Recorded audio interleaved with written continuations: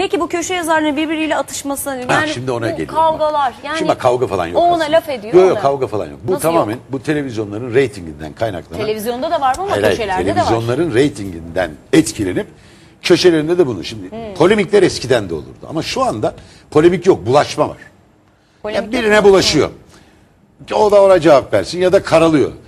Daha da ileri gidiyor. Mesela kovun bu adamı. Ya evet, ya evet, yazı yazıyor yani mesela şimdi bir de böyle bir böyle bir tür yazdırıyorsun çıktı. diye. Bak ben bunlara tür diyorum. Ne türü? Bunlar gazeteci falan değil. Bunlar bu mesleğe musallat olmuş asalaklar. Diyor ki falanca yaptı. Kov bunu patronu diyor. Ya açık yazıyor. Aydın Bey bakalım bu adamı tutacak mı? Mehmet Emin Kara Mehmet bu adamı yazdırmaktan utanmıyor mu? Ya biz bunları hiç yaşamadık. Böyle bir şey olmaz.